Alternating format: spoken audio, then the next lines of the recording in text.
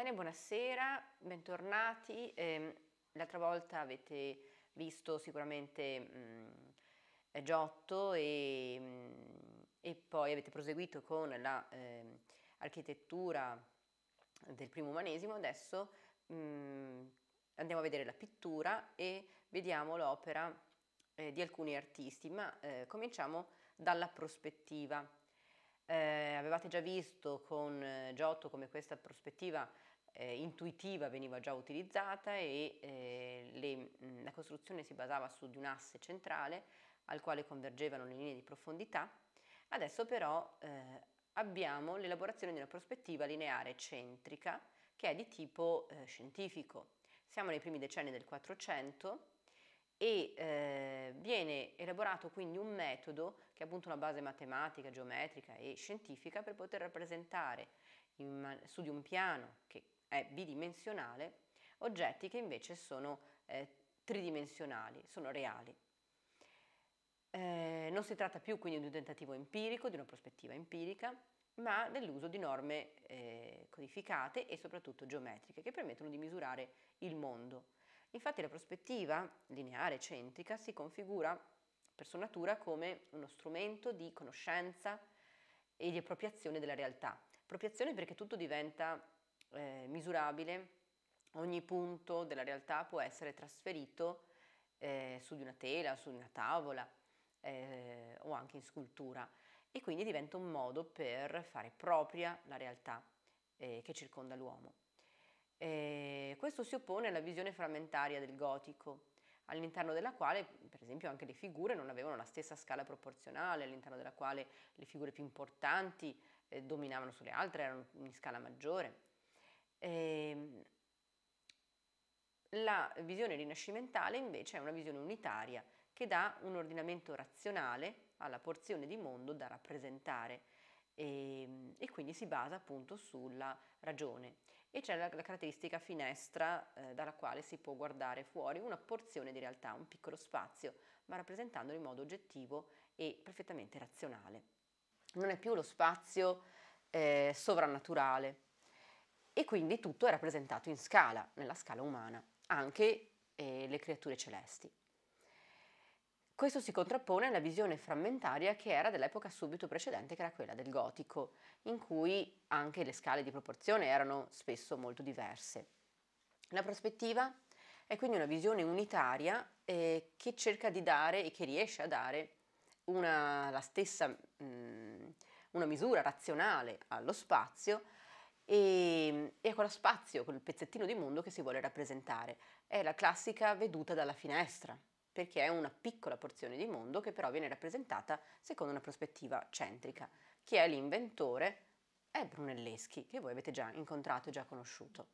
Filippo Brunelleschi, che dà una dimostrazione anche pratica della sua teoria attraverso questo eh, esperimento, possiamo dire così, da far fare al visitatore, al, alla persona che vuole controllare come funziona. Quindi eh, che cosa fa?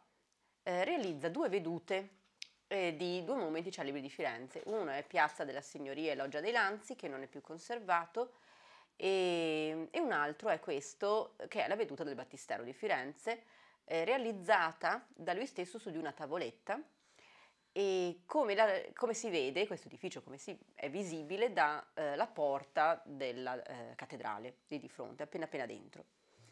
Eh, quindi diciamo che l'opera si trova su questa tavoletta, sulla quale è praticato un foro. Sull'altro lato c'è invece uno specchio. Eh, la persona che vuole controllare la visione, diciamo lo spettatore, è chiamato a porsi davanti a questa tavoletta, a guardare da quest'unico foro, quindi è una visione monooculare, e a guardare proprio di fronte eh, al battistero. L'esperimento quindi permette di vedere riflessa sullo specchio l'immagine realizzata, il disegno realizzato dal Brunelleschi, che è perfettamente sovrapposto all'immagine reale, al battistero vero e proprio.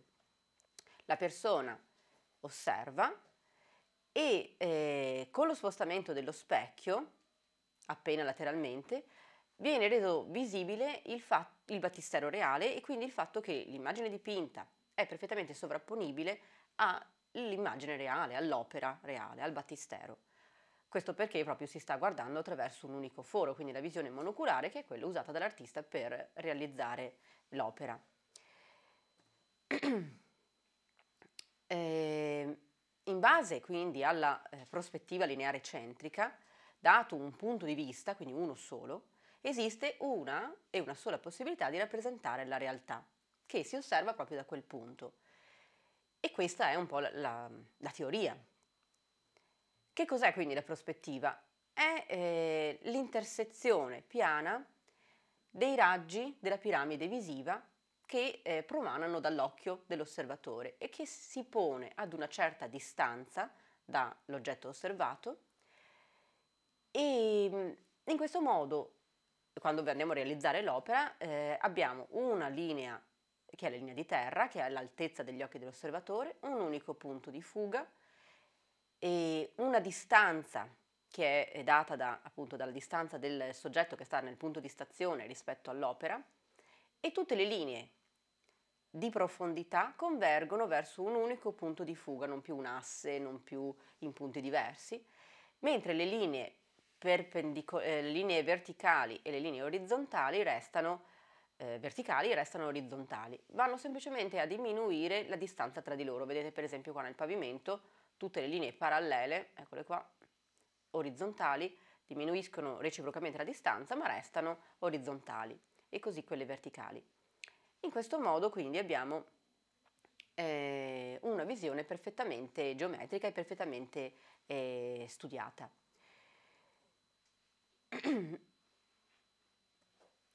Questo tipo di invenzione trova applicazione da parte di numerosi artisti. Uno di questi è proprio Masaccio. Eh, Masaccio che è amico mh, mm, di Brunelleschi, si frequentano, fanno anche insieme un viaggio a Roma e anche suo eh, amico tanto da ricevere nell'aiuto in una celebre opera che adesso andremo a vedere. Come vedete le date di nascita e di morte di Masaccio sono molto ravvicinate. È un artista che muore a 27 anni, eppure è un punto saldo, un punto fondamentale dell'arte del primo rinascimento, delle, eh, dell'umanesimo, scusate, siamo nel 400, e insieme a Donatello, insieme a Brunelleschi stesso, perché prosegue un po' la lezione di Giotto e anticipa Michelangelo, lo stesso Michelangelo andrà a studiarsi la Cappella Brancacci di Masaccio e la sua vita molto breve gli impedisce forse di segnare ancora di più l'arte.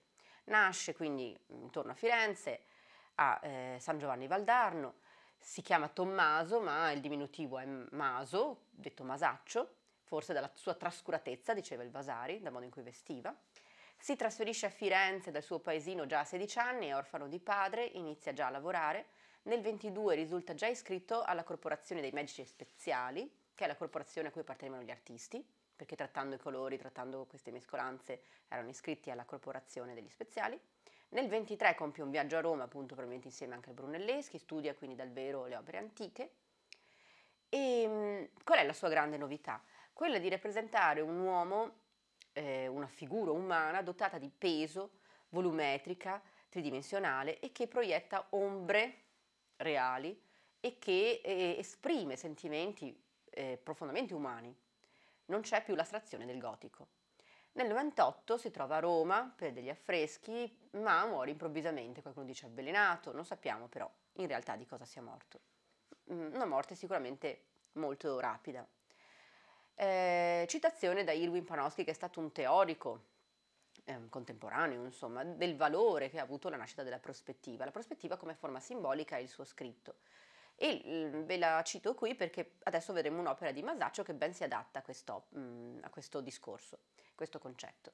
Attraverso la trasposizione dell'oggettività artistica nel campo del fenomenico, la concezione prospettica dischiude per l'arte religiosa una regione completamente nuova, la regione del visionario, nel cui ambito il miracolo diventa un'esperienza immediatamente vissuta dallo spettatore, poiché gli eventi soprannaturali irrompono nello spazio visivo apparentemente naturale che gli è proprio e gli permettono così di penetrare realmente la loro essenza soprannaturale. Forse conoscete quest'opera, Santa Maria Novella, vicinissima quindi stazione, è eh, la Trinità di Masaccio, eh, dipinta su di una parete, ma con, attraverso uno sfondamento eh, illusorio della parete stessa, simula una nicchia, come se ci fosse una cappellina. Qui viene applicata la prospettiva e eh, l'evento sacro sembra collocarsi realmente nello spazio fisico, tangibile in cui si trova l'osservatore. Non è una dimensione soprannaturale, è un'esperienza mistica che avviene direttamente davanti agli occhi dell'osservatore, che riesce ad osservare anche le figure sacre a grandezza naturale in un rapporto eh, proporzionale rispetto a lui. È ormai certo che eh, lo stesso Brunelleschi ha eh, aiutato, ha collaborato con Masaccio nella realizzazione della costruzione prospettica di tutta questa cappellina. E grazie al restauro che è venuto negli anni 2000-2001 sono stati anche, mh, ripulendo la superficie da tutto il nero fumo delle candele, sono stati portati alla luce, resi visibili, i piccoli solchi nel, mh, nell'intonaco che delimitavano tutte le linee della costruzione prospettica. Siamo nel 26-28, Masaccio è ormai un artista pienamente padrone della propria arte e andiamo a vedere nel dettaglio che cosa rappresenta l'opera. Allora noi abbiamo ehm, la Trinità rappresentata dalla presenza del Padre, dello Spirito Santo che eh, sembra quasi invisibile, ma è una piccola colomba che sembra un po' precipitarsi verso il Cristo in croce.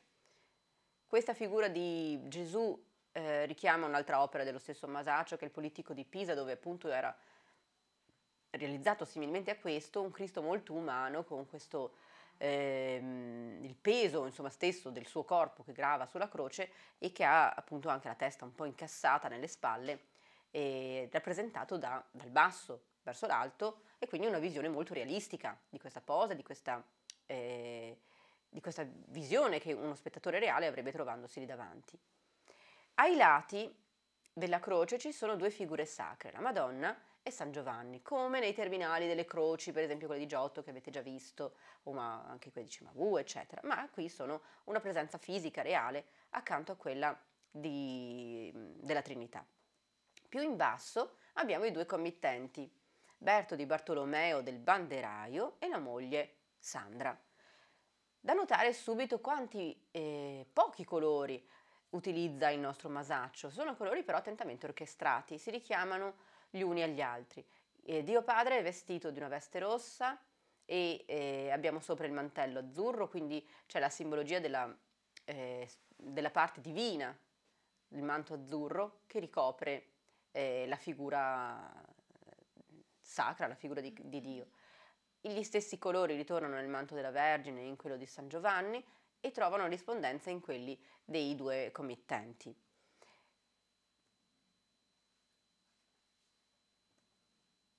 Andiamo a vedere quindi la costruzione prospettica. Il punto ideale da cui deve essere vista mm, è questo, insomma vedete una certa distanza dell'osservatore e mm, il punto di vista, quindi la linea dell'orizzonte, diciamo, della linea di costruzione prospettica, si trova all'altezza eh, di dove sono inginocchiati i due committenti e tutte le linee prospettiche quindi convergono verso questo punto ideale immaginario. E in questo modo vediamo anche qual è la, l'idea anche della costruzione prospettica di Masaccio, ossia è una struttura eh, che sembra sprofondare verso la profondità, che sembra creare un, una nicchia. Mm. Spero si vede abbastanza bene, sì, vero. Allora, Andiamo a vedere nel dettaglio. Anche la stessa cappellina, chiamiamola così, è realizzata secondo eh, una serie di elementi che si richiamano all'arte classica. Quindi abbiamo delle grandi eh, paraste di ordine corinzio, eh, abbiamo una volta a botte cassettonata con lacunari, quindi con questi mh, piccoli rettangoli, quadratini, insomma, che sfondano un po' la superficie, e dei rosettoni all'interno, quindi testimonianza del viaggio a Roma, della conoscenza eh, delle volte di tipo romano. Eh, abbiamo dei capitelli di ordine ionico su queste colonne e una trabeazione qua sopra, quindi tutto un impianto che richiama l'arte romana, l'arte classica. E questa è una costruzione invece in 3D che è stata fatta poi eh, dopo i restauri, dove possiamo vedere senza le figure tutti gli elementi architettonici presenti Quindi vediamo il Dio Padre eh, sarebbe posato su una mensola più, ehm, che si trova più arretrata rispetto alla croce, la croce si trova a una metà strada e poi più davanti le figure di San Giovanni e della Madonna. Ed ecco di nuovo la costruzione prospettica in tutti i dettagli. Vediamo qui il punto di fuga sulla linea dell'orizzonte. Le figure sacre insieme con i due committenti formano una composizione piramidale e eh, qua sotto anche, eh, abbiamo la presenza anche di un'altra figura che invece si rivolge direttamente all'osservatore ed è eh, un sarcofago dipinto ovviamente con uno scheletro sopra, con la frase che recita in eh, latino io fui già quel che voi siete quel che sono voi ancora sarete, quindi è una sorta di memento mori perché eh, quest'opera comunque mh, mm, è un'opera fortemente simbolica da un punto di vista religioso, ossia eh, chiama in causa l'osservatore e gli dice eh, fai attenzione qual è il tuo destino, ma sappi anche che per superare questo destino che è quello di morte puoi fare ricorso all'aiuto della preghiera, ecco i due committenti, dell'intercessione dei santi, la Madonna e San Giovanni, per eh, giungere al paradiso, al perdono dei peccati, eccetera, tramite la fede in Cristo e nella Trinità. Quindi è un messaggio religioso, ma veicolato da un linguaggio rinascimentale nuovo, che eh, non c'era nel gotico e ancora, eh, ehm, era ancora in via di definizione, diciamo. Adesso facciamo un passo indietro per quello che riguarda la cronologia, andiamo negli anni 24-25 e vediamo la Cappella Brancacci che è invece chiesa, nella chiesa del Carmine, di là dall'Arno, ed è un'opera che eh, Masaccio realizza in collaborazione con Masolino, un altro pittore un po' più anziano, pittore tardogotico, e, già affermato. Per molto tempo si è pensato che fosse stato il maestro di Masaccio, ma mh, probabilmente non è così, lavorano come collaboratori ma alla pari nonostante Masaccio sia molto giovane. E la cappella Brancacci è realizzata eh, per Felice di Michele Brancacci e, ehm, ed è una cappella che però non viene ultimata da questi due artisti perché Masolino parte per l'Ungheria e Masaccio poi si reca a Roma, avrebbe dovuto tornare, muore a Roma e quindi non viene completata da loro, viene completata da Filippino Lippi eh, intorno agli anni 80, sempre del 400. Quindi e non è tutta di mano di questi due artisti. Però abbiamo due registri che corrono lungo tutta la parete eh, sui due lati, che rappresentano eh, delle storie riguardanti la vita di, di, San Pietro, eventi riguardanti San Pietro, tranne episodi eh, sui pilastri laterali d'ingresso che sono della Genesi, ossia i progenitori, la cacciata dei progenitori e i progenitori nel paradiso terrestre. andiamo a vedere nel dettaglio, ecco qua, qui vedete già eh, si distingue anche il colore, si distingue la mano di Filippino Lippi, questa fascia qua sottostante, mentre quella superiore è di mano di Masaccio. Come hanno fatto e come hanno lavorato i due artisti? Si sono divisi nettamente il lavoro in modo che non ci fossero contrasti nello stile eh, e ognuno aveva eh, uno spazio, una porzione eh, mh, propria. Eh, allora, Masolino da Panicale realizza i progenitori del paradiso terrestre. Come vedete sono due figure idealizzate nella bellezza dei corpi, eh, nel, nelle espressioni dei volti e anche nella forma di questi volti che sono ovali, sono perfetti. Eh, sono sicuramente in un momento di grande serenità, cioè nel momento della beatitudine all'interno del paradiso. Masaccio invece realizza la cacciata dei progenitori L'arcangelo Michele con la spada fiammeggiante li scaccia fuori dalla porta, che vediamo qui, e questi personaggi assumono un'espressione dolorosa che è veramente umana, è pienamente eh, inserita all'interno di questa rivoluzione di Masaccio, questa rivoluzione del, dell'umanesimo. Guardate per esempio il volto di Eva, diventa una maschera di dolore, tanto che le orbite sono vuote, gli occhi sono quasi bui, il suo stesso mm, la sua stessa bocca è in un'espressione di disperazione molto profonda. Si copre i seni, si copre il pube perché ha scoperto di essere nuda e accanto a lui Adamo piange e si copre il volto per la vergogna. Quindi sono figure rese in maniera anche più grossolana in un certo senso, perché eh, il corpo di Eva è meno aggraziato di quello dipinto da Masolino o anche quello di Masaccio eh, nel corpo di Adamo realizza una figura molto più realistica, molto più eh, concreta, tanto che se li vogliamo mettere in confronto i progenitori di Masaccio proiettano delle ombre, sono fisici, sono reali e hanno una forte volumetria, mentre quelli di Masolino non proiettano ombre sul terreno, sembrano un po' galleggiare in questo ambiente che è ancora tardo gotico nella sua impostazione.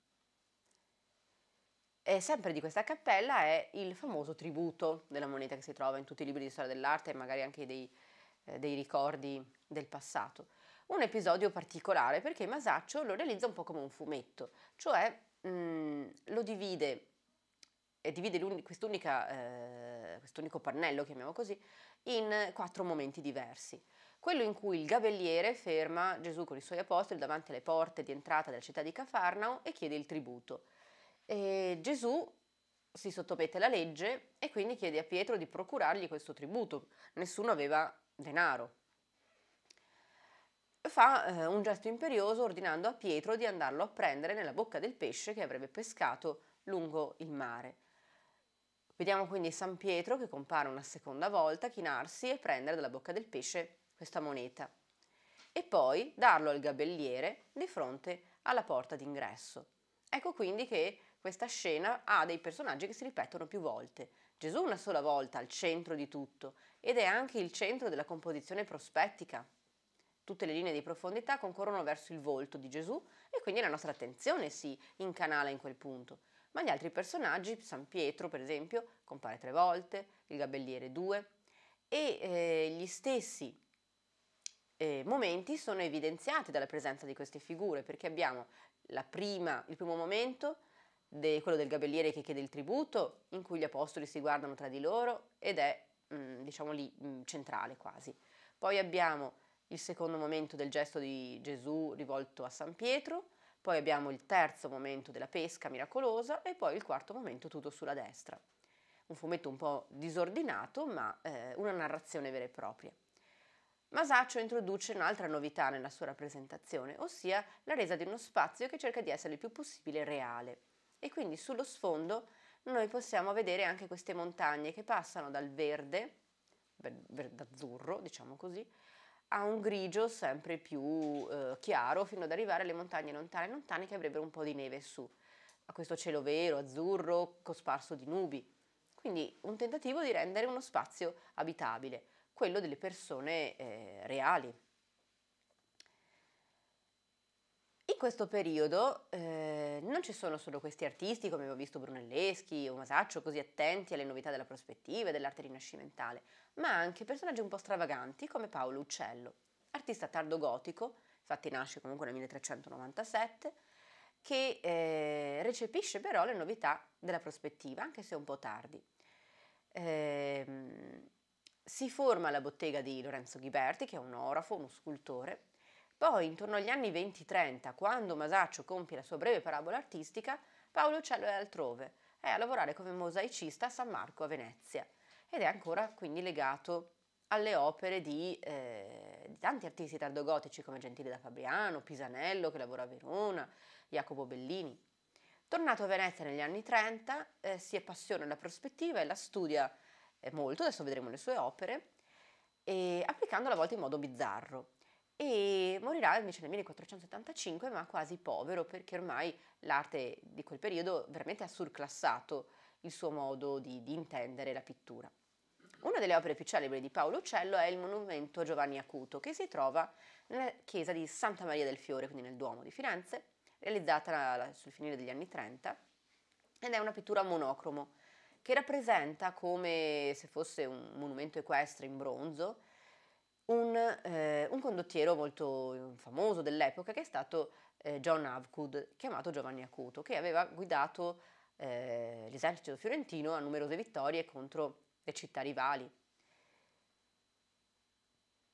Quindi, eh, di nuovo, Paolo Uccello applica la prospettiva, ma la applica in due modi diversi. Nel basamento eh, utilizza un punto di fuga molto ribassato, che infatti va addirittura fuori dalla cornice del dipinto, accidenti, ecco qui ho preso qualcosa, e eccolo qua, mentre per la figura del cavallo e del cavaliere utilizza una veduta perfettamente frontale, perché altrimenti il cavallo sarebbe risultato estremamente scorciato e così anche il condottiero, tanto da essere quasi illeggibile. E due punti di fuga diversi, due prospettive diverse, ma mh, anche un uso molto attento di altri schemi geometrici, per esempio il cerchio. Quindi la figura del cavallo è molto realistica, è studiata attentamente, mh, probabilmente anche nel confronto diretto con monumenti equestri eh, realmente esistenti, e soprattutto con le testimonianze visibili a Roma, per esempio con il Marco Aurelio, oppure con altre opere che erano eh, possibili usare come, come, termine di paragone. Eh, ma eh, nello stesso tempo c'è una idealizzazione di alcune parti attraverso l'uso della geometria.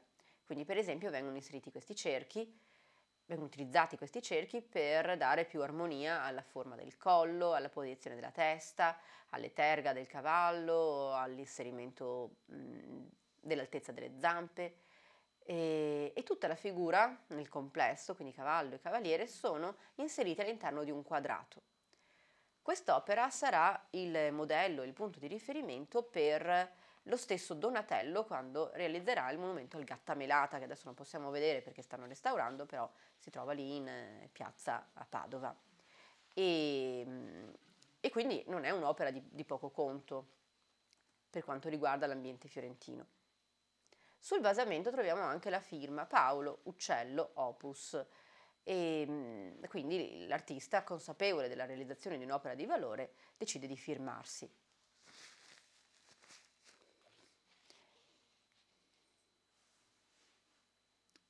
Altre opere di Paolo Uccello si trovano nel Chiostro Verde di Santa Maria Novella e siamo negli anni 40. Eh, di nuovo ci mostrano un'applicazione un po' fantasiosa della prospettiva eh, nella quale proprio Paolo Uccello sembra perdersi. Qui abbiamo il diluvio universale, una pittura monocromo, eh, non è tanto ben distinguibile forse, si è anche un po' deteriorata, ma vediamo l'arca che compare due volte perché ci sono due episodi diversi e per questo motivo vengono usati due diversi punti di fuga.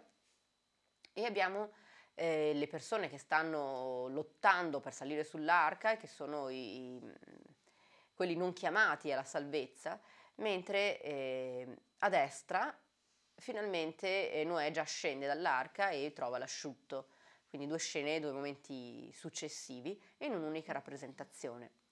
E qui eh, Masaccio, come in altre opere, come per esempio la battaglia di San Romano, applica appunto la prospettiva ma per realizzare delle opere molto eleganti, molto decorative, che ancora risentono del clima tardogotico.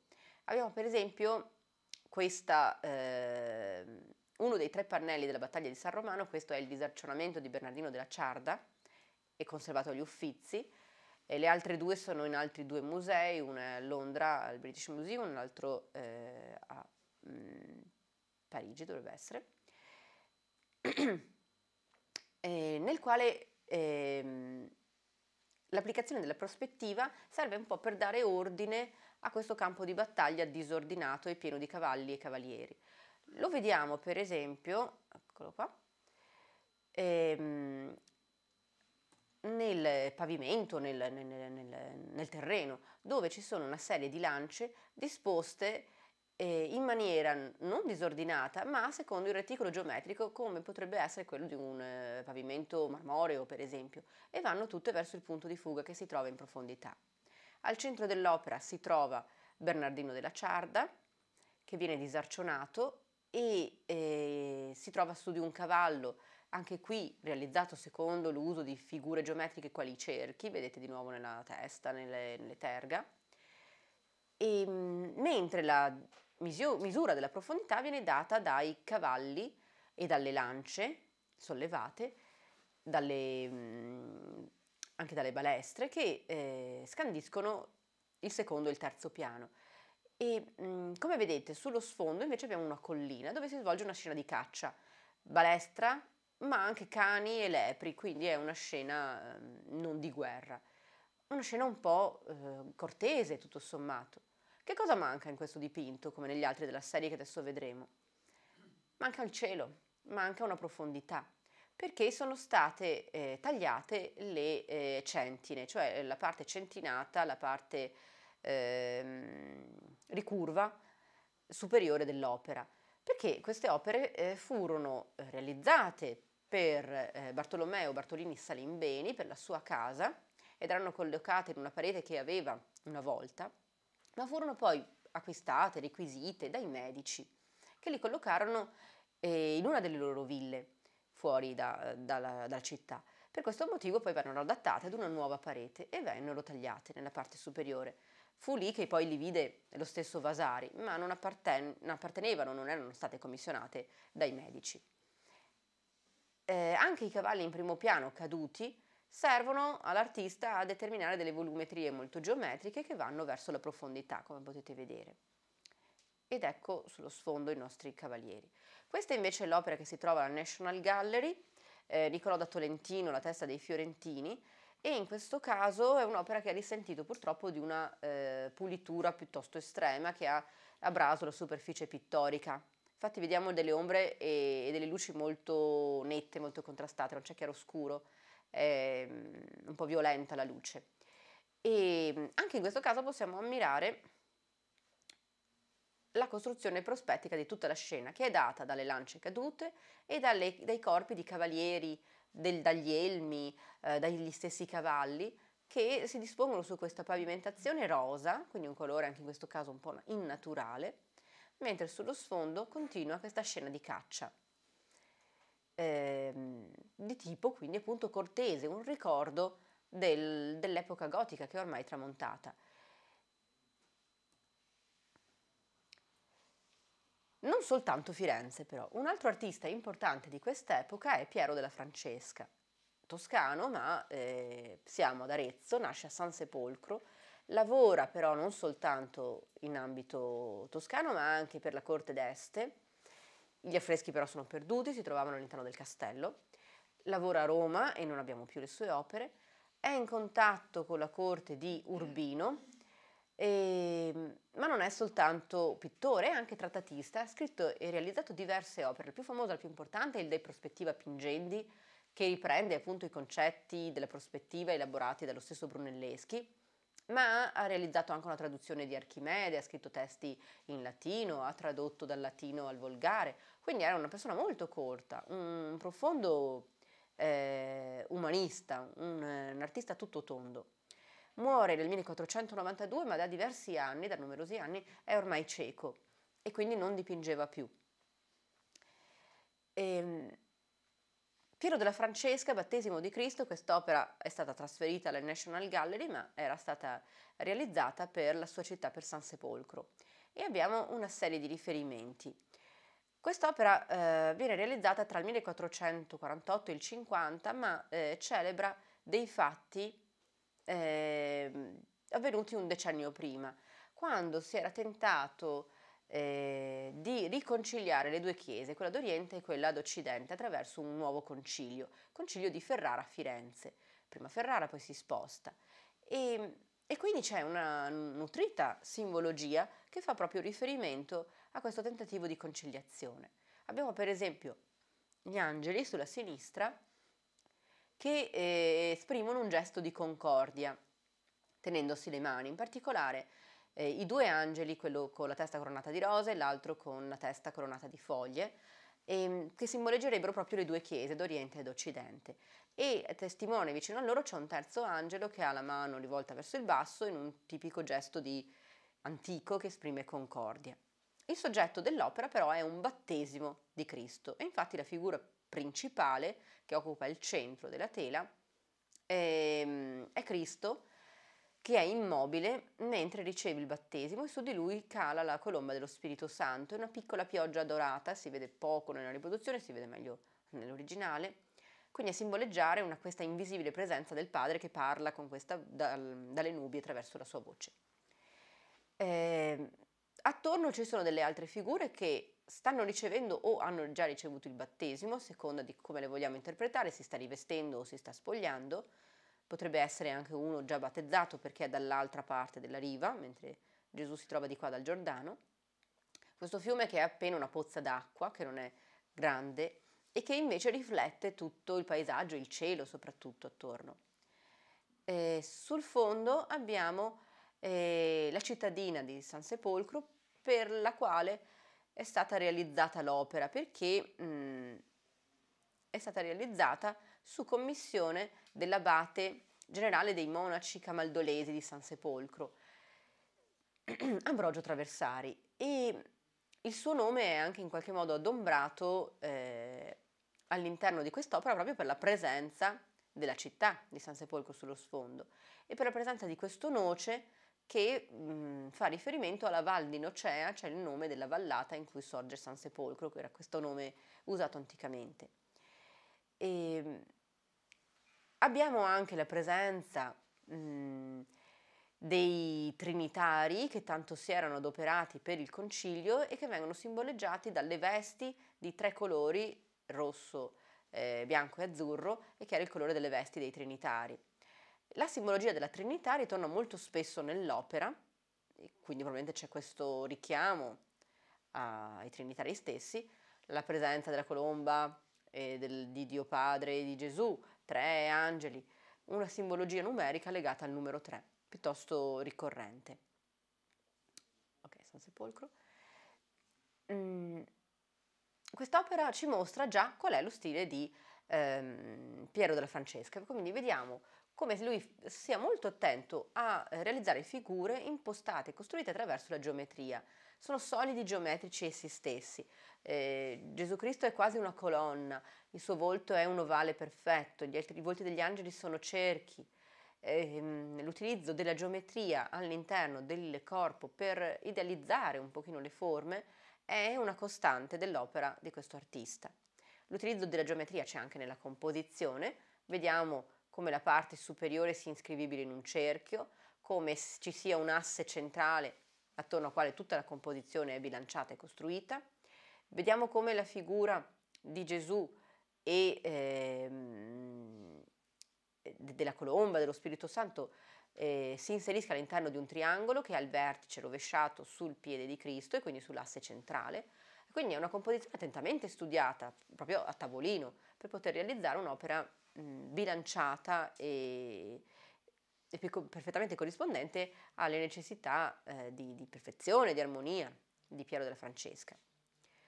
Per Arezzo realizza invece le storie della vera croce, che sono, eh, sono, delle storie che fanno riferimento ad una leggenda mh, che è stata scritta da Jacopo da Varagine e che, eh, tra le altre cose, mh, narra come sia stata eh, ritrovata, come è stato ritrovato il legno della croce una volta che aveva ospitato il corpo di Cristo, come questo legno derivi dal, dall'albero che è spuntato dal seme che era stato messo nella bocca di Adamo una volta sepolto, una storia che è evidentemente una leggenda e che però eh, ha avuto largo seguito eh, tra il Medioevo e l'umanesimo.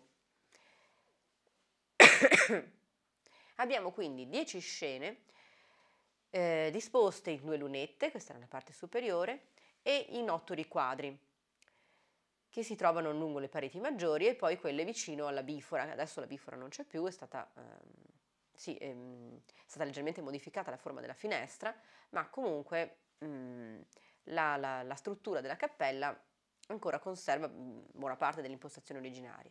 Allora andiamo a vedere nel dettaglio e, ehm, allora, le scene presentano nella parte bassa scene di battaglia, compreso il sogno di Costantino. Nella parte mediana eh, il ruolo di due importanti regine che furono la regina di Saba e Sant'Elena, la madre di eh, Costantino. Nella parte superiore due eventi miracolosi legati alla croce.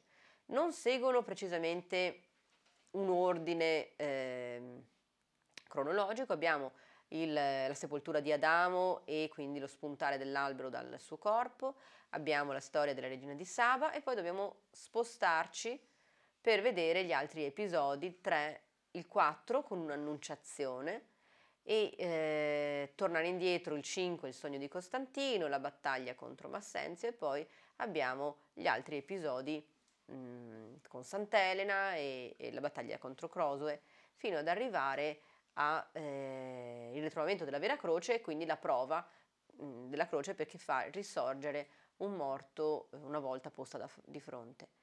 Andiamo a vedere alcuni di questi episodi. Quelli più famosi.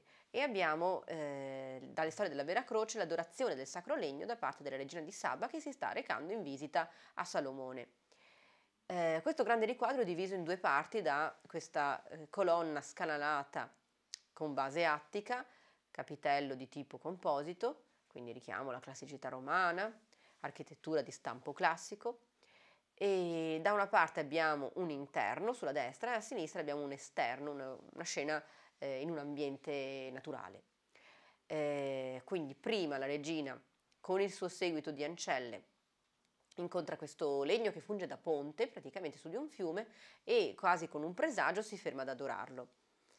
E poi incontra eh, Salomone all'interno di un edificio eh, di stampo classico.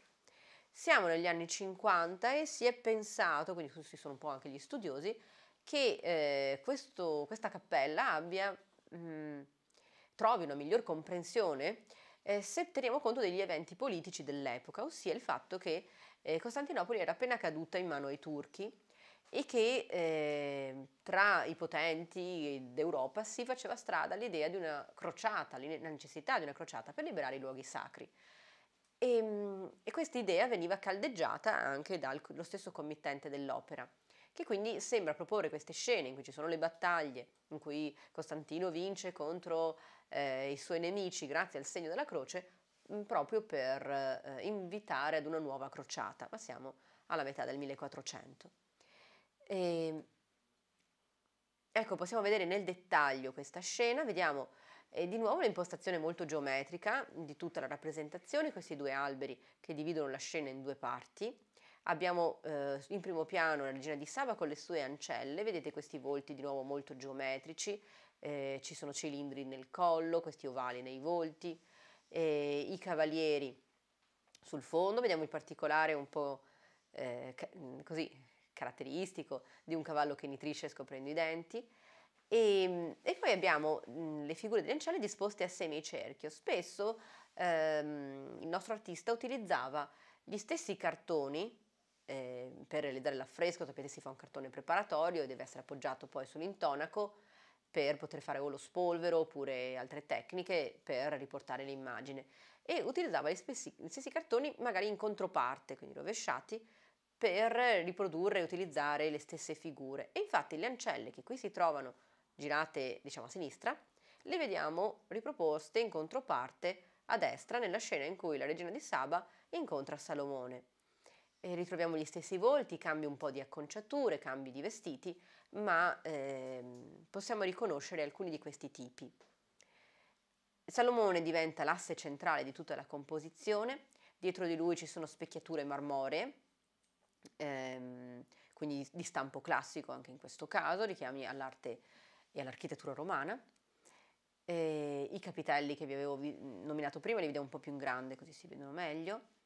E, eh, e qui invece abbiamo vabbè, tutta la divisione geometrica dell'opera. Quindi vedete un unico asse eh, trasversale che taglia eh, tutte e due le scene. Le teste dei personaggi si collocano al di sotto di quest'asse, la parte superiore occupata dal paesaggio e tutta la scena è divisa in una serie di riquadri che sono eh, quattro per lato e al centro abbiamo questa grande colonna.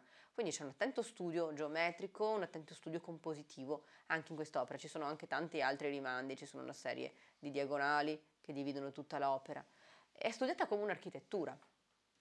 E Brunelleschi è stato il, ehm, scusate, Piero del Francesca è stato anche egli eh, teorico di architettura e, e appassionato conoscitore di architettura. Il sogno di Costantino, per lungo tempo ritenuto il primo notturno della storia dell'arte, c'è chi dice, dopo i restauri che sono stati fatti, che in realtà non sia un notturno, ma ci sia un'alba che sta sorgendo. Sa di fatto che noi vediamo comunque nel cielo una serie di stelle che non sono ancora del tutto tramontate, ma c'è un forte chiarore che non viene dal cielo, ma viene da quest'angelo che tiene in mano una piccolissima croce, in hoc signo vinces, e dice quindi a Costantino in sogno, fai mettere queste, queste croci sui tuoi scudi, su tutte le tue insegne, in modo da vincere contro i tuoi nemici. Eh, la luce che proviene dall'angelo illumina l'interno della tenda nel quale dorme Costantino. Scusate, ma prima o poi doveva succedere.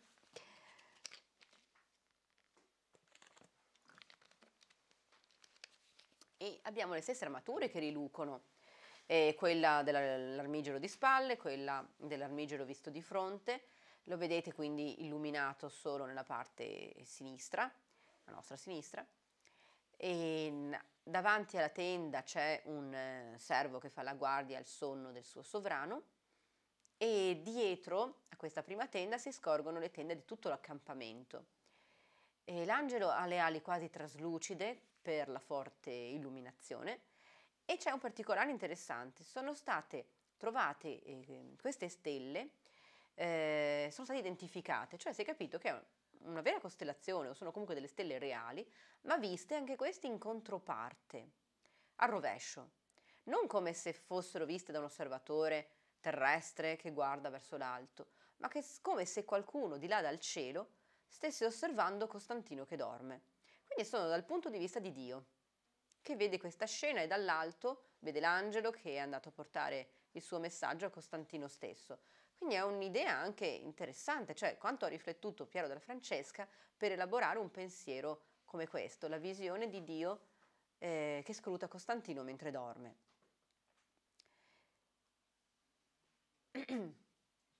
Un'altra opera eh, molto celebre che adesso è conservata agli Uffizi è il Dittico Montefeltro, che rappresenta il duca di Montefeltro insieme alla consorte Battista Sforza e sono rappresentati in un duplice ritratto di stampo antico come nelle monete e nelle medaglie celebrative antiche, quindi sono di profilo. E Battista Sforza, eh, qui vi ho messo due date, vedete 1465 o 72-74, perché c'è chi dice che è un ritratto postumo. Lei muore molto giovane, però è la moglie amatissima di, eh, mm, del duca di Urbino e quindi eh, forse ha voluto rappresentare questo dipinto in cui ancora si guarda eh, in faccia con la sua amata moglie, con la quale c'era stata una forte comunanza di spirito e di intenti. Anche il pallore di Battista Sforza testimonierebbe un po' questa teoria e mh, mm, poi vediamo anche un altro dettaglio del perché. Eh, è inserita all'interno di una cornice rinascimentale, eh, le colonne, le, le paraste anzi, capitelli, eh, la decorazione della trabeazione, che sono tutte di stampo ro- romano e quindi classico. Sullo sfondo un paesaggio lacustre mh, delle zone attorno ad Urbino, che è un unico paesaggio che continua in tutta eh, la raffigurazione, come se fosse un'unica opera. Battista Sforza è vestita e agghindata in modo molto elegante, quindi fa sfoggio della ricchezza della corte eh, dei Montefeltro, perle, eh, gioielli, Ehm, mentre eh, il marito è vestito in un modo molto più eh, sobrio, diciamo, ma mostra anche il suo caratteristico profilo. Voi sapete che era cieco dall'occhio destro in seguito a un torneo, una giostra che aveva combattuto e eh, con la quale era stato ferito all'occhio destro e poi si era fatto eh, scalpellare un po' il naso per poter avere una visione migliore potendo guardare solo con il sinistro, quindi ha questo profilo particolare. È rappresentato anche con grande realismo perché si vedono i nei, le verruche sul viso, quindi ehm, Piero della Francesca riesce anche in un grande realismo, anche nel paesaggio sullo sfondo, che però è molto minuzioso e dettagliato fino agli oggetti più lontani. Interessante è anche il retro, nel quale vediamo i trionfi dei due duchi. Abbiamo mm, di qua il duca di Montefeltro, che è coronato dalla fama, Davanti a lui stanno la fortezza, la prudenza e la giustizia sul suo carro, che è trainato da stalloni bianchi, mentre eh, in basso una scritta lo elogia come duce, come condottiero. E mh, di fronte a lui, sul retro insomma, del, del, dipinto della moglie, c'è un altro trionfo, quello di Battista Sforza, che è circondata da una serie di virtù, la carità, la fede, la castità, la modestia e viene proprio eh, decantata per la sua modestia, ma viene usato un verbo al passato, eh, tenuit, mentre viene usato il verbo al presente per il duca di Montefeltro, quindi anche questo ha fatto pensare che effettivamente sia un ritratto postumo. Ecco, questo è uno dei misteri della storia dell'arte, invece, la flagellazione di Urbino. Ehm, perché? Non si capisce cosa sia effettivamente il soggetto dell'opera. Abbiamo una scena sacra che rappresenta la flagellazione di Gesù in secondo piano. In primo piano tre misteriose figure che sono state variamente interpretate e attribuite a eh, vari nomi. Andiamo a vedere con ordine quindi. Sullo sfondo vediamo un Cristo alla colonna flagellato dai, da due soldati romani, che però sono abbastanza rigidi. Eh, non è eh, lo scopo di eh, Piero della Francesca rappresentare il movimento in maniera mh, mm, veemente. È tutto molto bilanciato, controllato attraverso il rigore e la geometria. Sullo sfondo, un po' impassibile, c'è il eh, Ponzio Pilato che osserva la scena, una colonna con un idolo pagano nella parte superiore a cui è legato Cristo e poi notate l'architettura romana, proprio il modo in cui viene eh, citato l'antico con le colonne di ordine eh, composito, con eh, di nuovo i cassettoni, con i rosettoni ehm, e le specchiature marmoree sullo sfondo, nel pavimento. Abbiamo anche un'attenta costruzione prospettica di tutto il pavimento, è molto molto scorciato, con un punto di vista abbastanza basso, che è tipico comunque dell'arte di Piero di La Francesca perché rende le figure più monumentali.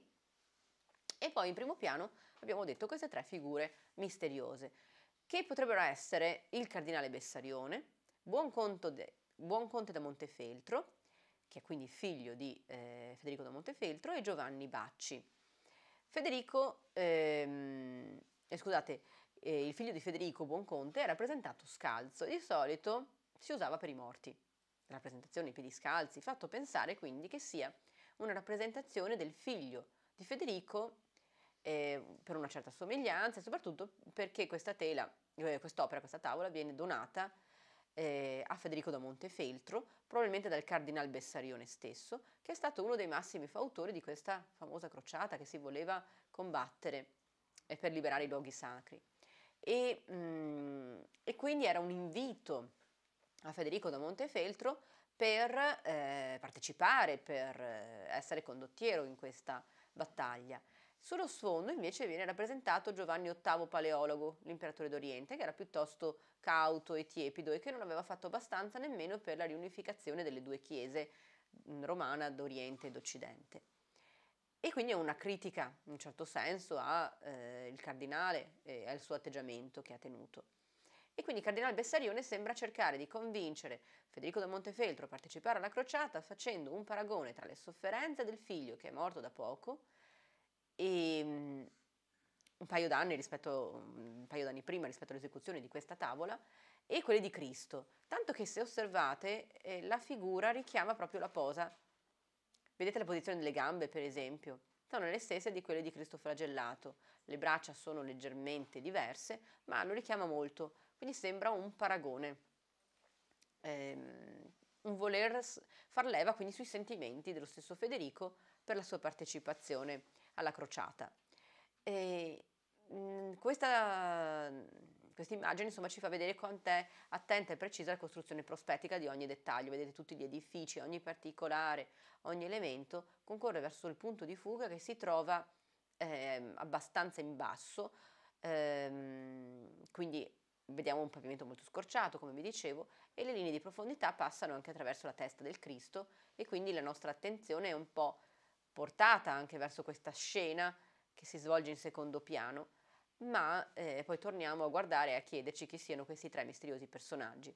Ecco, quella che vi ho proposto è una interpretazione che è anche abbastanza eh, diffusa, ma potrebbe non essere veritiera, potrebbe non è, perché non è l'unica, insomma, non è eh, certa al 100%, proprio perché non abbiamo documenti.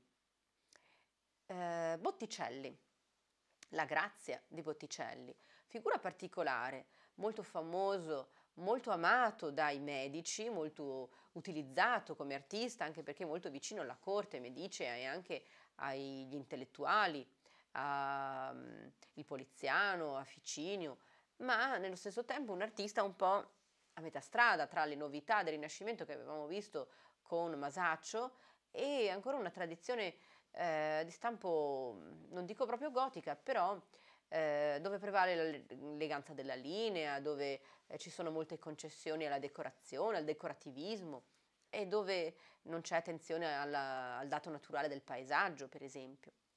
Nasce nel 1445, quindi è più o meno l'età di Leonardo, eh, detto Botticelli probabilmente da un soprannome, forse è quello del, di uno dei fratelli, che faceva il battiloro, quindi si occupava diciamo, della lavorazione della brunitura dell'oro, e quindi Battigello, Botticelli potrebbe essere questo soprannome. Potrebbe derivare da un altro fratello che era un po' cicciottello, non si sa, però probabilmente è più, mh, mm, più valida questa alternativa. Battigello. Eh, ha una bottega propria già a partire dagli anni 70, però appunto vi dicevo lavora soprattutto per la corte dei medici e poi molto importante per eh, la conclusione della sua parabola artistica perché lui lavora fino al 1510 ma cambiando completamente stile perché si fa fortemente eh, influenzare dalle novità del Savonarola che predica a Firenze per diverso tempo un rinnovamento dei costumi, un ritorno alla morale, una, um, eh, liberazione dagli idoli pagani che stavano contaminando eh, gli umanisti sicuramente, gli artisti, quindi il rogo delle opere d'arte, eccetera, e Botticelli si fa fortemente eh, interprete di questa cosa. Eh, abbiamo alc- alcune opere famose che si trovano negli Uffizi, adesso abbiamo una piccola carrellata di questi capolavori. La Madonna del Magnificat, eh, cosiddetta dal libro sul quale sta scrivendo proprio l'inizio in latino del Magnificat, e, ehm, è circondata da angeli e tiene in braccio il bambino che guarda verso di lei, quindi c'è un, rapporto di sguardi tra la madre e il figlio. Vediamo nel dettaglio, cioè abbiamo la, la cornice antica, quindi vale sempre la pena di vederli quando abbiamo ancora le loro cornici originali. Vediamo un po' più da vicino. Eh, c'è eh, un, un, forte legame tra eh, tutti i personaggi dati anche dal, dai gesti. Quindi abbiamo la Madonna che sta guardando verso Gesù bambino, ma anche che lo tiene in mano e regge la melagrana, che è simbolo poi della passione.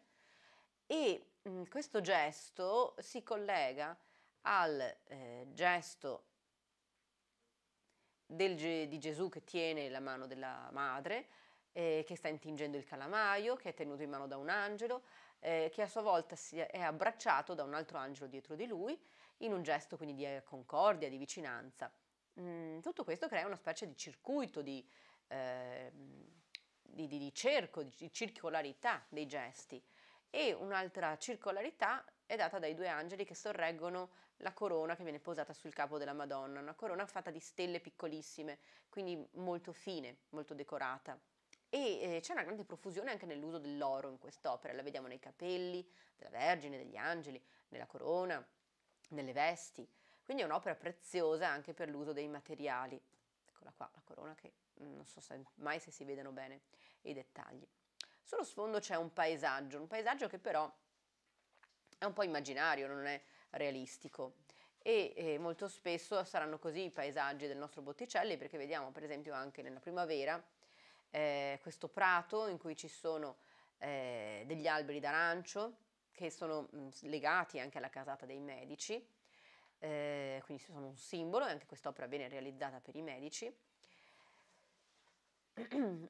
e, però è un paesaggio irreale, lo stesso Leonardo rimprovera Botticelli dicendo che non, non, sapeva fare dei paesaggi realistici, perché Botticelli, secondo Leonardo, diceva che bastava tirare una spugna sul muro e venivano fuori, colorata insomma con dei colori intinti nella spugna e lì veniva fuori già un paese. Invece no, diceva Leonardo, serve un attento studio per riuscire a realizzare bene un paesaggio. Ma in effetti non è uno dei, dei punti di forza di Botticelli che è piuttosto attento all'eleganza della linea, delle forme, delle figure. Allora che cosa abbiamo al centro? Venere, sormontata da Cupido che sta scagliando una freccia in direzione di una delle tre grazie. E, ehm, accanto a lui ci sono però delle altre figure misteriose. E perché tutto questo mistero? Perché probabilmente è un'opera che fa parte della cerchia dei, realizzata per la cerchia dei medici, forse per Lorenzo di Pier Francesco, che era eh, nipote di Lorenzo il Magnifico, cugino, scusate, di Lorenzo il Magnifico, e che eh, era molto giovane all'epoca, quindi è una sorta di ehm, opera didattica che vuole insegnare mh, mm, l'importanza eh, di, di eh, elevarsi spiritualmente attraverso la bellezza e attraverso l'amore, però secondo le filosofie, la filosofia neoplatonica propugnata dal Ficino, eh, che in quegli anni era appunto mh, alla corte dei medici. Venere e Cupido li abbiamo nominati. E, mh, abbiamo gli alberi di, delle arance, poi l'albero di mirto e eh, l'alloro stesso, che quindi sono sacri a Venere. E quindi questo ci permette di attribuire con sicurezza l'identità della figura. Le altre figure sono Zefiro e Clori, una ninfa che viene fecondata dal vento di primavera e che si trasforma in Flora, cioè la primavera vera e propria, che ha il capo, il collo cinto da ghirlande e la stessa veste piena di fiori che essa stessa sparge sul terreno davanti a sé, cospargendolo di rose. Le tre grazie che intrecciano una danza, intrecciando anche i loro gesti, le loro mani, e eh, poco lontano da loro Mercurio, verso cui forse una delle tre grazie sta guardando. Quest'opera mh, mm, probabilmente trae origine anche da un passaggio dell'asino d'oro di Apuleio, eh, secondo cui il protagonista ha una visione, una rappresentazione, vede una rappresentazione eh, della, eh, del giudizio di Paride che assegna la mela alla più bella, quindi a Venere. E comparirebbero proprio gli stessi protagonisti, Mercurio, le tre grazie, eccetera. E quindi sembra un invito fatto al giovane Lorenzo di Pierfrancesco a scegliere Venere, come fece Paride, eh, cioè scegliere l'humanitas, eh, quell'insieme di moralità, di virtù civiche che l'avrebbero portato a, eh, a elevarsi da un punto di vista umano e spirituale. Eh, le tre eh, grazie hanno anche un attributo, generalmente rappresentano insomma, la bellezza, la passionalità, ma probabilmente sono anche attributi di Venere, quindi bellezza, passionalità e castità, che ehm, sono collegate quindi sia alle tre grazie che a Venere stessa. Altra opera celeberrima degli Uffizi è la nascita di Venere, che come sapete nasce già adulta eh, dalla schiuma del mare, poi viene portata su una bianca conchiglia eh, verso le sponde della, dell'isola di Cipro e che viene rappresentata in maniera poco realistica e molto per sommi capi attraverso queste linee di costa. E anche le onde sono realizzate in modo molto mm, sommario, soltanto con queste specie di, di V, eh, di certo non attraverso un'attenta osservazione di una vera eh, onda. Compaiono poi delle figure ai lati che adesso andiamo a identificare. Anche quest'opera è sempre stata fatta per i medici, si trova sempre poi nella villa di Castello quando la vede il Vasari all'inizio del Cinquecento, ma non era per Lorenzo il Magnifico.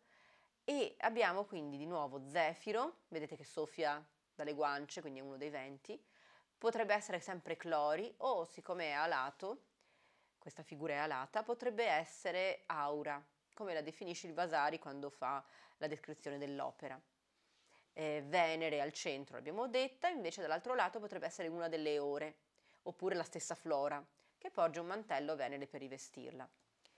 E Venere è anche una citazione da tante opere classiche e da altre Veneri, forse la stessa Venere dei Medici, eh, dove viene eh, rappresentata in un atteggiamento pu- mm, pudico, pudico ehm, però con un andamento molto più serpentinato ed è fortemente sbilanciata verso destra, mentre la testa per bilanciare questo movimento si sposta a sinistra come anche i piedi. È ritratta nel gesto di scendere dalla conchiglia, sta sollevando un piede, ma è una figura costruita per pura linea e qui ancora di più il chiaroscuro viene meno. Non ci sono ombre, non c'è peso, sono figure estremamente mh, idealizzate. Eh, il riferimento potrebbe essere quindi la filosofia neoplatonica anche alle stanze del poliziano. Qui Venere, come all'interno della filosofia neoplatonica, ha un significato spirituale, cioè la bellezza, l'amore sono un mezzo per elevarsi ed andare verso Dio. Quindi un'interpretazione cristiana dei miti pagani, che era tipica questo, del periodo dell'umanesimo, del Rinascimento, in cui c'era un travestimento eh, cristiano simbolico di molti miti o una reinterpretazione eh, come se gli antichi avessero già prefigurato la venuta di Cristo. Eh, per questo motivo il mito riesce a convivere e a coesistere con la forte fede cristiana anche di tanti artisti, perché non si sentiva una dicotomia.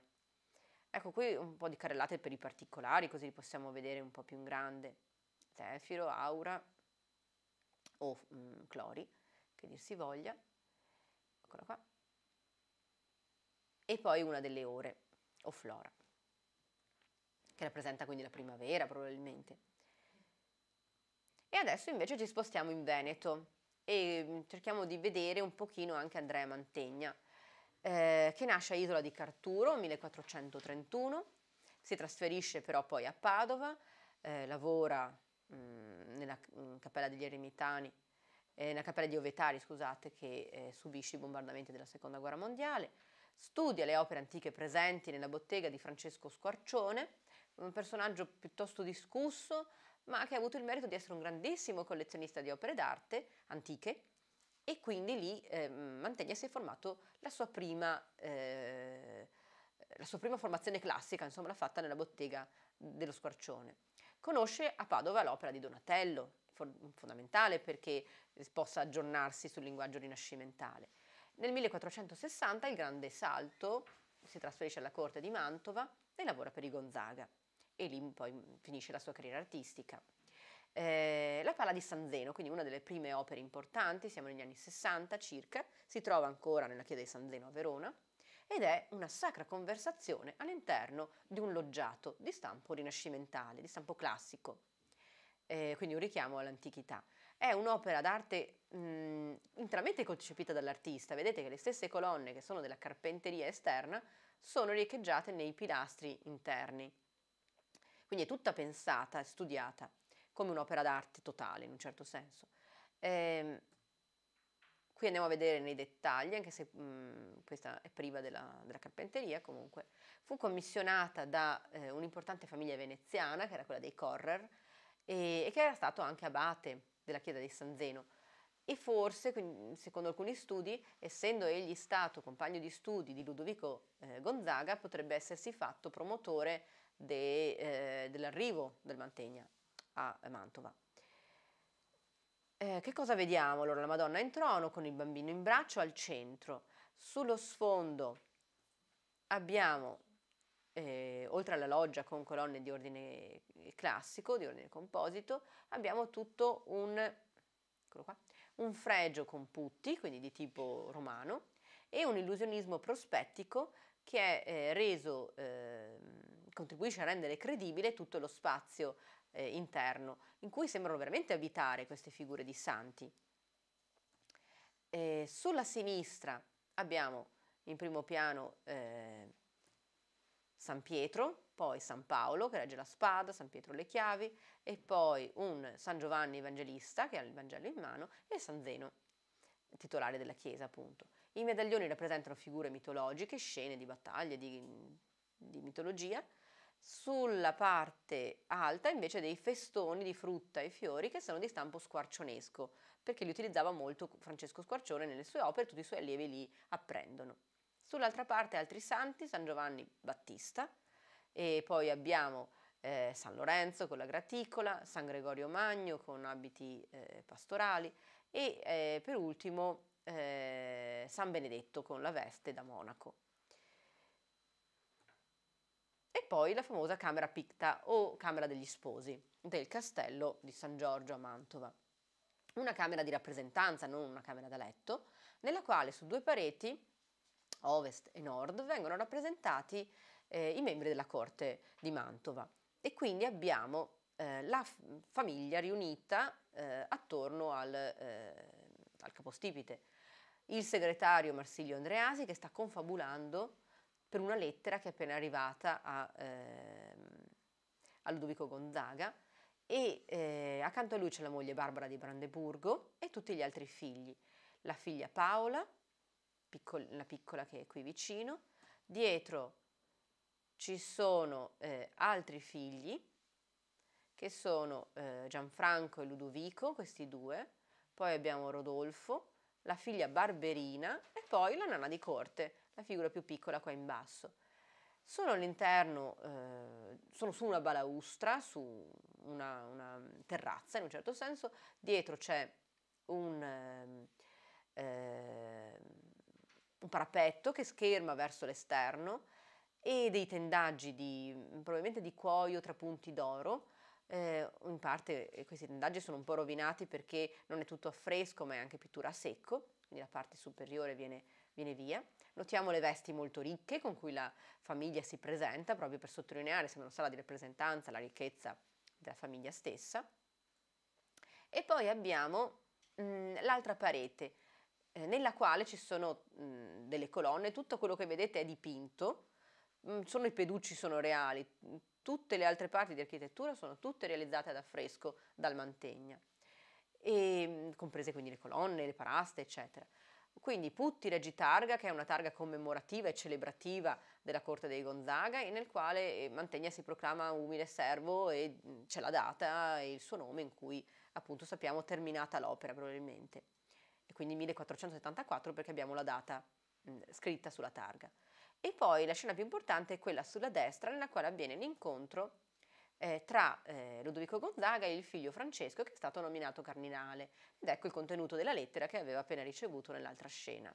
E qui a fianco ci sono tutti i vari figli e eh, nipoti. Quindi abbiamo Francesco e Sigismondo, i piccolini, Francesco cardinale, qui davanti, un altro eh, figlio che è eh, qui in primo piano, aspetta,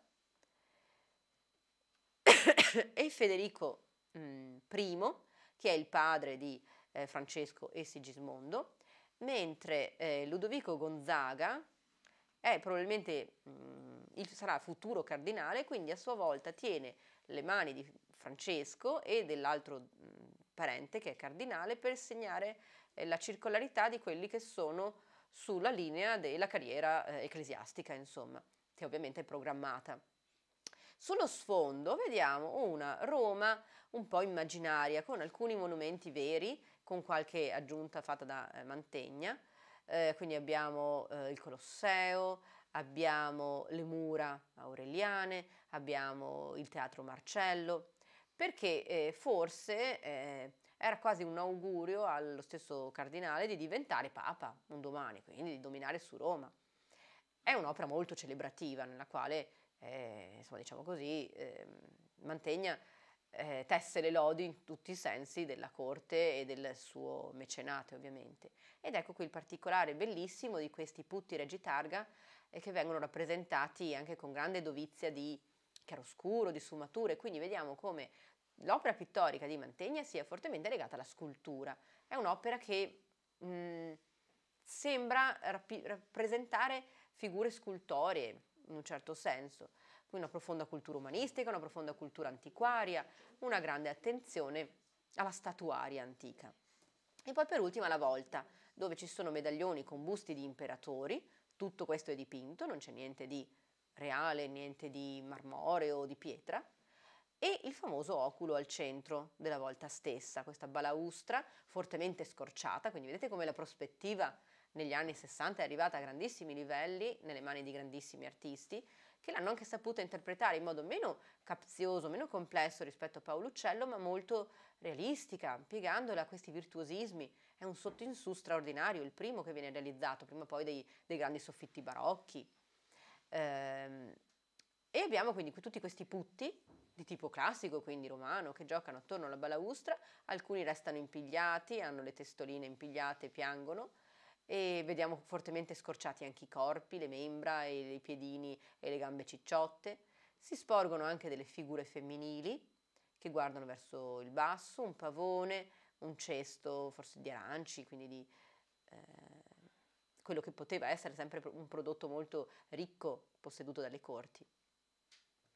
E poi abbiamo il famoso Cristo in scurto, il Cristo morto di Mantegna che viene rappresentato di nuovo in prospettiva anche in questo caso con un, una variazione, un accorgimento, cioè i piedi avrebbero dovuto essere molto più grandi per la visione, invece sono fatti più piccoli in modo da non risultare sproporzionati perché il punto di vista è quello di un osservatore in preghiera proprio qui di fronte. E, mh, abbiamo quindi il corpo molto scorciato che permette di mettere in evidenza le mani con i segni dei chiodi, i piedi con i segni dei chiodi, la ferita sul costato e attorno a lui ci sono le figure piangenti, che sono tre, anche se non benissimo visibili, ma poi abbiamo il dettaglio, della Madonna San Giovanni, una terza figura che, che, che piange di dolore, il vasetto con l'unguento per eh, dare l'imbalsamazione al corpo, eccolo qua, e, e questo letto che è un, un, marmo, semplicemente una grande lastra di marmo. La stessa, stesso corpo di Cristo sembra una scultura, realizzato con questo monocromo un po' particolare. Ecco il dettaglio dei volti, vediamo l'altro sullo sfondo. Quindi questa rappresentazione dei sentimenti, dei gesti molto umana ed è la pittura veneta anche che riesce a rendere eh, in modo molto umano e molto sentito i sentimenti, le espressioni dei personaggi. Eh, ecco, mm, io non vorrei sforare troppo, quindi non so quanto ho. Eh, se volete abbiamo un paio di opere di Bellini, altrimenti mi fermo qui. Vediamo Bellini? Ok. Quindi siamo sempre in Veneto, il nostro Giovanni Bellini. Eh, questa è la Pietà, mh, 1465 circa, quindi Bellini è parente, voi sapete, di Mantegna, perché Mantegna sposa la sorella di Bellini e inizialmente subisce anche molto l'influsso dello stesso Mantegna. Eh, lo vediamo per esempio in quest'opera dove i ricci di San Giovanni oppure le pieghe dei, delle vesti sono ancora abbastanza rigide, sono eh, scultorie, proprio perché eh, Mantegna aveva questo stile mh, appunto scultoreo come l'abbiamo definito, un po' ligneo. Ma c'è una grande umanità nei gesti, guardate il gesto umanissimo, dolcissimo della Madonna che si appoggia con la guancia al figlio morto, scambiando quest'ultimo sguardo che è ehm, lo sguardo verso un figlio che, che non la può più vedere. Vengono messe in risalto le mani, e quindi le ferite della passione, c'è una balaustra qui davanti e qui eh, diciamo, è tagliata leggermente troppo sopra l'immagine, c'è anche un cartiglio qua sotto dove c'è la firma dell'artista e, ed era tipico questo cartellino mh, degli artisti veneti come Bellini, come Mantegna. e dietro vediamo un paesaggio che si fa sempre più reale, qui soprattutto nel cielo. Ancora duro invece quello che vediamo un paesaggio terreno, però un paesaggio brullo, perché siamo in una scena della passione, quindi fortemente caricata da un punto di vista emotivo, di tristezza. La Pala Pesaro. Anni 70 si trova alle gallerie dell'Accademia di Venezia, ma in realtà è smembrata, ossia quest'opera, eh, la parte centrale è a Venezia, la parte superiore eh, è conservata a mh, mm, Pesaro, se non sbaglio, insieme con eh, la predella. Aveva subito alcune vicissitudini per cui purtroppo non è conservata nella sua interezza. È un'opera bellissima, proprio anche solo vedendola così da lontano, perché vediamo una serie di cornici che si susseguono e ci dà proprio l'impressione di un quadro nel quadro, di una prospettiva, di una profondità che continua. Cosa rappresenta? L'incoronazione della Vergine. Gesù e Maria sono seduti su uno stesso trono marmoreo e Gesù la sta incoronando. Vedete com'è umanizzata anche la figura di Cristo, la figura della Madonna? Sono sullo stesso piano vicino ai santi e quindi in una sorta di sacra conversazione, ma molto eh, colloquiale, molto umana, molto eh, vicina anche all'osservatore stesso. Dietro a questa cornice marmorea c'è un paesaggio e qui un paesaggio che si fa sempre più naturale. E, e poi vediamo il colore, il modo in cui lo usa Bellini. Eh, è proprio l'inizio di quello che poi sarà il tonalismo veneto, i personaggi, le figure costruite attraverso il colore, attraverso i contrasti di chiaro e di scuro, di zone macchie di luce colorata. Ehm, quindi abbiamo poi sullo sfondo questo paesaggio collinare e, e le figure dei santi che circondano la Madonna, una di queste è riconoscibile San Francesco, proprio perché l'opera è stata fatta per la chiesa di San Francesco a Pesaro, poi abbiamo San Gerolamo, eh, San Paolo e San Pietro leggermente dietro, che sono anche i nomi dei santi protettori dei committenti dell'opera. E, eh, e per ultima il trittico dei frari. Questo è stato fatto per eh, i membri della famiglia Pesaro, che non c'entrano con l'opera precedente, mh, mm, veneziani, e si trova nella chiesa di Santa Maria Gloriosa dei Frari, appunto. Non è molto grande, se vedete dal vero è alto 1,80 m eh, nella parte centrale, però è una bellissima sacra conversazione, anche questo, all'interno di un loggiato. E anche qui è un'opera d'arte ancora conservata nella sua interezza per quel che riguarda la cornice. Dietro alla Madonna si apre un'abside semicircolare, ehm, come si può dire, ehm, protetto da un manto, da, da, da, un, da, un, tappeto rosso, e in alto invece il catino absidale è decorato con mosaico d'oro, quindi tradizione bizantina, Venezia, San Marco, quindi tutti i riferimenti a Venezia. Eh, c'è la lode alla Madonna e all'Immacolata Concezione al centro e, mm,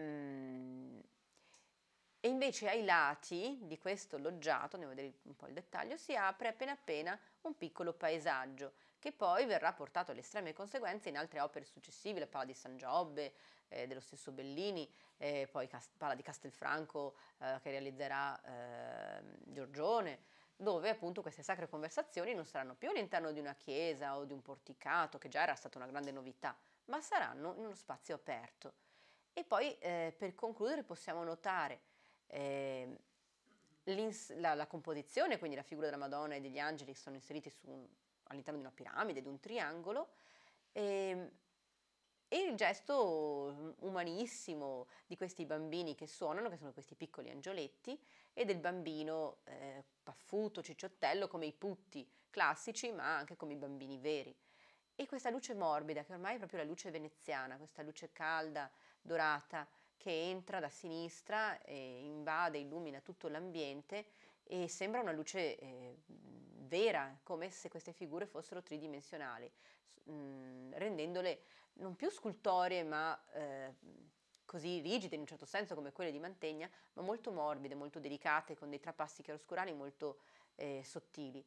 Ormai poi si è avviato anche l'uso della pittura d'olio sempre di più rispetto alla pittura a tempera che avevamo visto finora con Botticelli, con eh, lo stesso Piero della Francesca e quindi permette anche degli effetti luministici molto particolari.